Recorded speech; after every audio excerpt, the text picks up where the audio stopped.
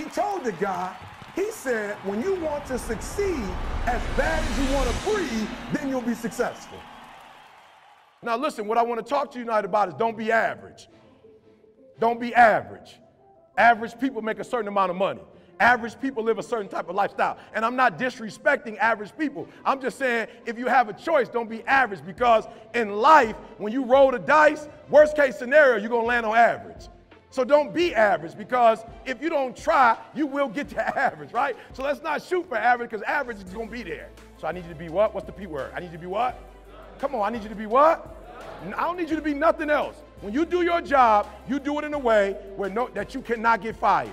Talking to my wife today, she's like, I want you to clean up. I'm like, we about to get it twisted. I want you to clean up. I'm like, how? Because I know you want it a different way than how I do it. I clean average. I'm just being real. I clean average. So when you say clean, you have to break that down. Because I know with my clean and your clean, it's two different cleans. No, I'm trying to help you. It's two different cleans. My wife said you don't clean, you shift. so you take stuff from one area and you put another area. That area clean, but then the other area, when I clean, you don't see nothing, everything's gone. Some of you, when you get a job, you shift, you don't clean. So I need you to find out what productive is when you get to that internship, you get that job, you get in that relationship with that female, that male, whatever you do, I need you to find out what productive, not what you think productive is, find out what's really productive. And you do that, and you ain't going, they can't get rid of you. I'm trying to stop you from being average. Average people blame. Grace no. Look, I'm gonna be real. If you blamed and it helped, I tell you to keep doing it. I'm just being real. Like if you would blame people for why you are where you are, and you can make $50,000 every time you blame, I tell you to open up a blame account.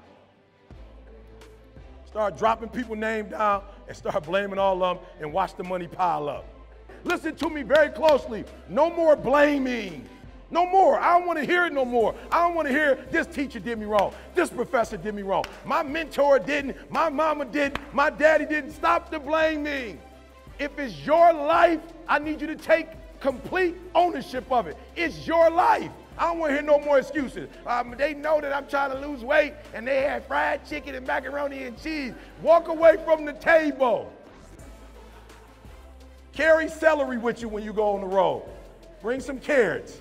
Like just have you a packed lunch. Here, here, here, look, and I'm gonna be real with you. trying to help some young person out in life. That's why you can't play the blame game. Because the day you say I ain't eating sweets no more, it, people come out the woodworks like I brought you a cake. The day you say, like, yo, I'm off of sweets, somebody's not gonna know. I got three sweet potato pies for you. You just made three sweet potato pies to give away? And there you, I was thinking about you. you weren't thinking about me with no sweet potato. I'm on, I'm on a diet. So do me a favor. You on a diet, stop the blame game. Just walk away from the chicken. No, need don't walk away. Eat the chicken, eat the macaroni and cheese, eat the collard green, eat the potato, eat it. But when you walk away, don't say, they made me do it. They put a shotgun out, ah, eat that chicken right now, blow your brains out. Don't do that. Walk away and say, I was weak. I was weak. I wasn't strong enough. I smelled the chicken. Come on. I, the macaroni cheese were calling my name. For when you blame, that's what you do. You make excuses for why you broke. You make excuses for why you stuck. And it is easier to make it somebody else's fault than to man up and look in the mirror and say it was your fault. It's easy to put it on somebody else. Why? Because then you ain't got to do nothing. It's easy to say my daddy wasn't in my life. It's easy to say my mom abused you. And guess what? You right, but you ain't eight no more. You're right, your mama hurt you. You're right, your daddy violated you. You're right, but you was eight. You 28 now. You 18 now. You got to get over it. It's your life.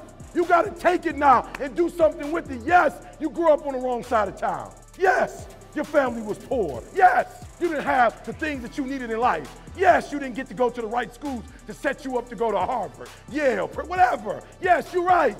But how long you gonna hold on to that? What you thought was a curse is a curse when you blame. But what you thought was a curse when you take ownership, you see blessings in it. I want to ball. I grew up seeing my aunts and uncles and my grandma in the project. I'm ready to ball.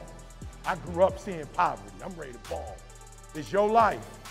Only one person can stop you from making that become a reality, and that's you. You can live where you want to live, have what you want to have, have phenomenal relationships, be in good health. You can have whatever you want. It's your choice. Don't get it twisted. Every time you go to the table, you're making a choice.